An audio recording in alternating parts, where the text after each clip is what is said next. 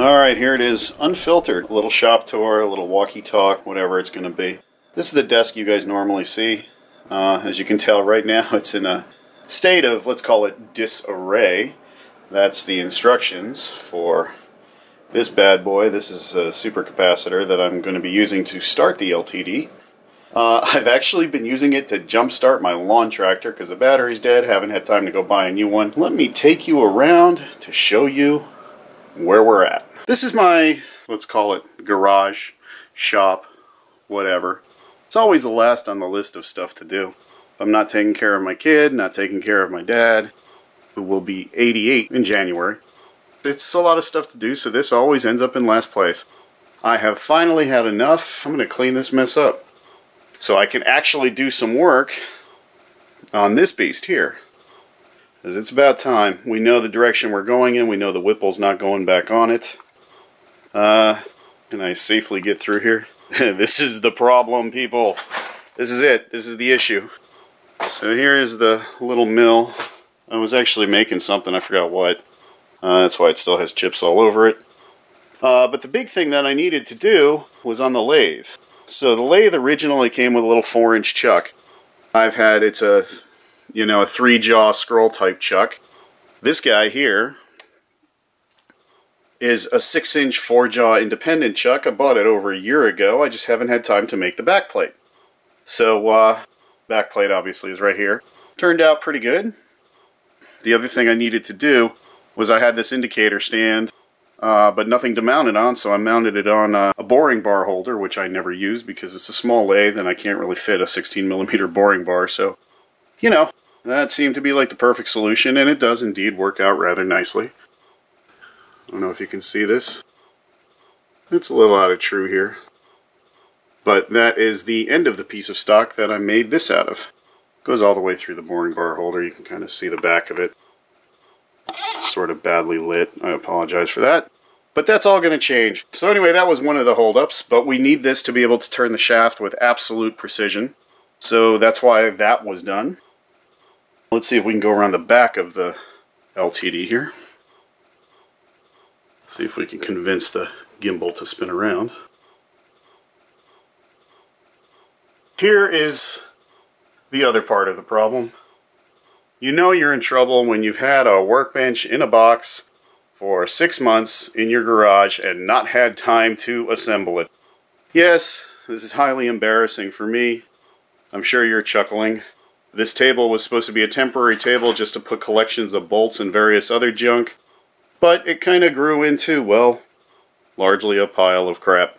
There's my porting station where I ported the cylinder heads and the intake manifold, largely now serving as a storage for junk. The Whipple, by the way, is underneath this pile of plastic. Let me see if I can dig it out. Ah, there she blows It's nice, safe, secure. There it is, but that's not going to be going back on anytime soon because of what we're doing here. I actually found the motor I want to use for the electric Vortech that we're going to be making. Alright, let's get right to this part of the video. I shot the other part of the video like over a week ago. This is taking me forever, I'm ashamed to say. But anyway, let's take a quick look at the, uh, the shaft for the impeller here. This thing is, uh, these are still the bearing races. I still haven't pulled them off, and I don't want to pull them off until I'm sure I have to pull them off because, uh, you know, I don't want to mar this up. There's not a whole lot of danger of that because this thing is uh, one tough mother. This is the best file I have. It's a coarse side. It's a Nicholson. It really isn't doing much. It's skating like Brian Boitano in a gay bar. But anyway, so uh, I don't even know what that means. Uh, and not intended to offend anyone. Please, for the love of God, people, chill out.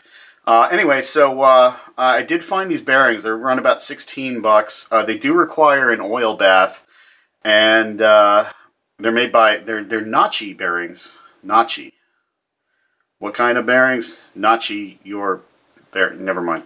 Anyway, so these guys, like I say, run about 16 bucks and uh, they're designed to run in an oil bath and they are good for something like 52,000 RPM so most likely what we're going to end up doing is making a small almost like a reservoir for the oil. Um, I think that will probably work, and it's probably the most uh, pragmatic thing to do. I did find some other bearings that would work.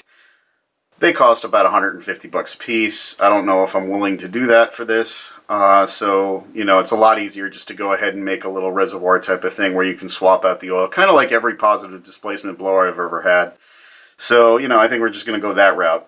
Anyway, so that's that for uh, well, actually, wait, one more thing I wanted to talk about. So the way we're going to deal with the hardened uh, um, surface of this shaft, because we do have to turn this down, we will have to drill a hole in the back.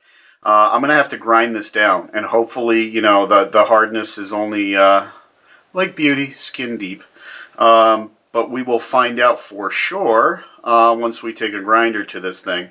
It's almost a shame to do it, but you know what? It has to be done. Now let's take a look at the motor that I ordered. So the motor is made by a company called TP Power. Sorry, that makes me laugh. Beavis and Butthead. You, you have a reference there if you're old enough. Anyway, it's a TP5860, uh, which is not the largest motor this company makes. It's actually one step down from that. This motor measures 58 millimeters by 106 millimeters. Uh, the biggest one is just under 58 millimeters in diameter and like a centimeter longer. But the reason why I went with this one over the other one is that this one has a max RPM of 50,000, whereas the other one caps out at 40,000. So 50,000, if you recall, will allow us to walk all over the compressor map, see how far up we can get, see how much power it takes to turn the impeller at that RPM. The one that I ordered is a 12S capable, which means it runs at about 48 volts with a max of just over 50 and uh, it's got it's rated at 970 kV, so that's 970 RPM per volt. Uh, the really cool thing is it has a continuous power rating of 7200 watts, which is just under 10 horsepower, and a max power rating, so a 10 second burst of 15,000 watts, or 15 kilowatts, or just over 20 horsepower, which is insane. The motor that's a little bit bigger than this one has a continuous power rating of just over, I, I think it's like somewhere around 9,000 watts, uh, but it has the same peak power rating. So, you know, we're giving up a little bit of continuous duty power, which actually, frankly, doesn't matter for what we're doing because it's not going to run continuously. And also, in a worst case scenario, we can fab up a water jacket around the thing. It has the same peak power rating, so hopefully that's going to help us. So that will allow us to get some really good data, in fact, as to how much power this thing actually takes to turn. In this photo, you can see how big it is relative to somebody else's hand. That is not my hand. That could be Andre the Giant's hand. That could be a midget's hand. I have no idea. But, you know, I mean, realistically, that looks like a pretty small dude holding that thing. But it's still going to be a pretty big, beefy motor. You have an idea of the capability of the motor given the size of the cables coming off of it. We'll see how well it works. It's supposed to be here uh, sometime in January, like mid-January, I think they're saying. Uh, they apparently custom make these for each order. It costs about 288 bucks shipped. So let's get back to the garage and then uh, we'll say bye-bye for now. There's my little Milwaukee Porta-Band stand that I made a while ago. And this thing is basically worthless without a little Palmgren vise like this. So you can cut bolts, whatever you need to do. Uh, my uh, blasting cabinet, which will come into play soon here. It's, it's like a picture, a model of Japanese efficiency. It's got a little stand that I welded up uh, that straddles the compressor. You'll notice a fair share of like actually good tools and a bunch of Harbor Freight stuff. The compressor qualifies as a good tool. It's a Campbell Hausfeld. That's an actual Porta-Band. But then over there we have Harbor Freight crap, which, you know, does the job but not that well. This little saw over here, this is a uh, metal cutting Makita. That thing is bad ass.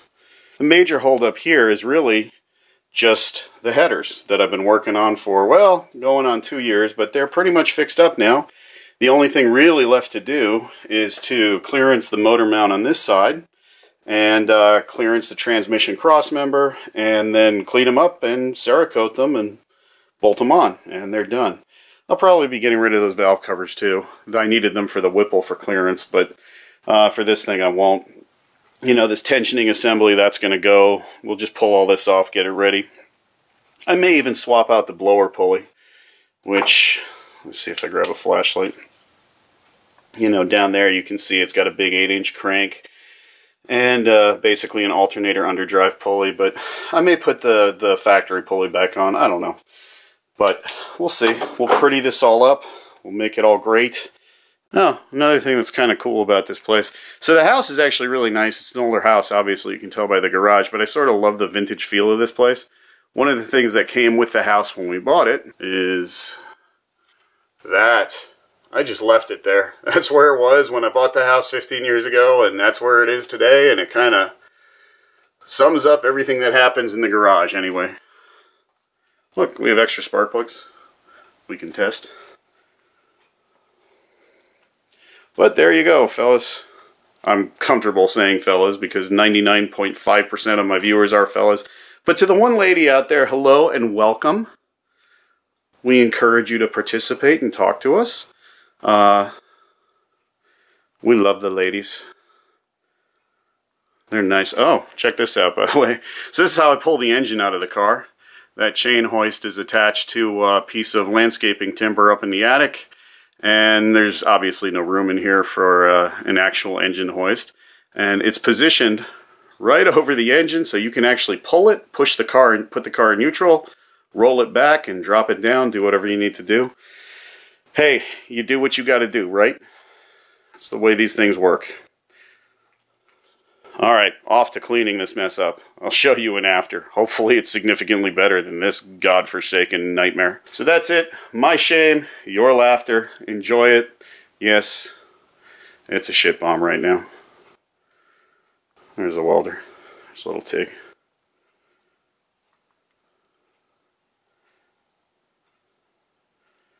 For shame.